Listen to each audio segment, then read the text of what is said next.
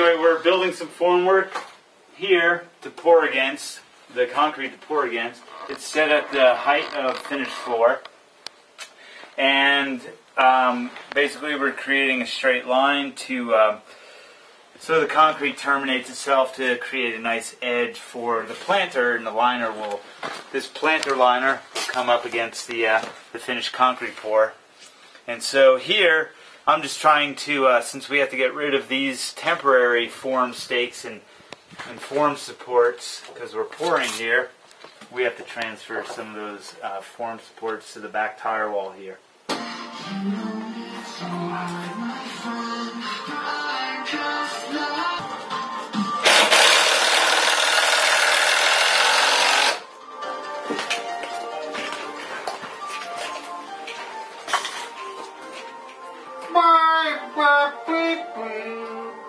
So we put a 12 inch piece of, uh, of half inch plywood on our wall here. This is to create a formwork for the concrete pour. Um, it's going to come right up to it. Um,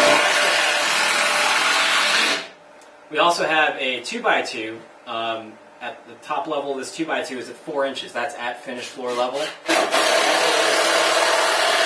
A screeding ledger. So when we're when we're pouring, when we're uh, screeding our concrete, uh, flat and level, we can take our screeder and rest it on this over to our other screeding ledger, and we can just screed our concrete to the right level using this guy. Oh, this is also going to be this is going to be part of the wall. Above this, I'm going to do sheetrock, but this is necessary. Um, I can use this because there's going to be cabinets, uh, you know, mounted right in front of here, so you're never going to see this plywood.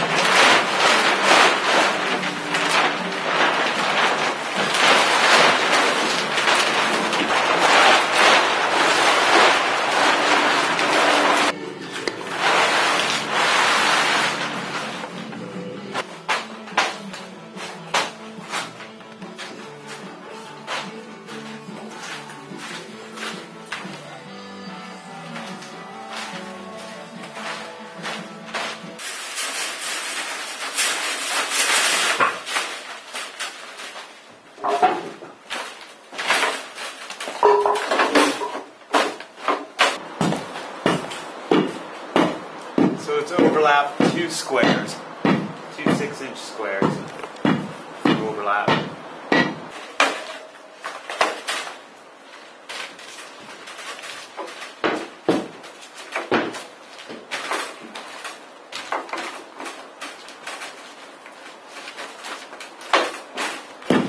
This, that, get them together, hook it in there.